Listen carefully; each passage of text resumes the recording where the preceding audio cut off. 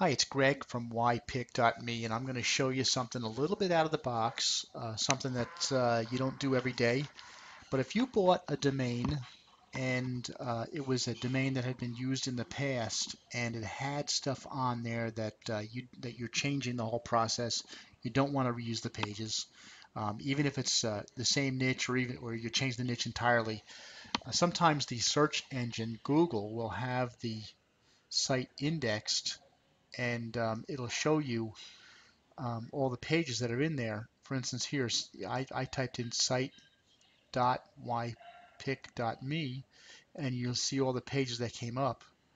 And I'll scroll, bring this down for you. And um, there's some pages on here like resume pages and, and that I don't use anymore. So, so what we're going to do here is we're going to delete some.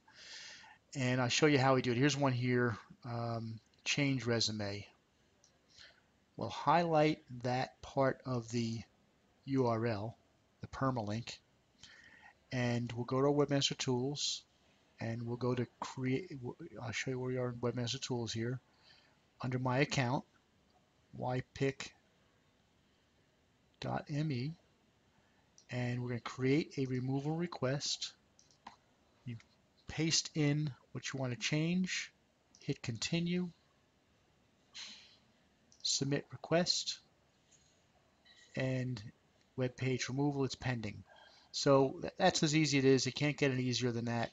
Um, that's how you take a, a site's page out of the index that you're no longer using and you don't want it showing up there. Um, hope that helps you. Again, Greg from ypick.me, uh, offering you help when I can. Thanks for watching.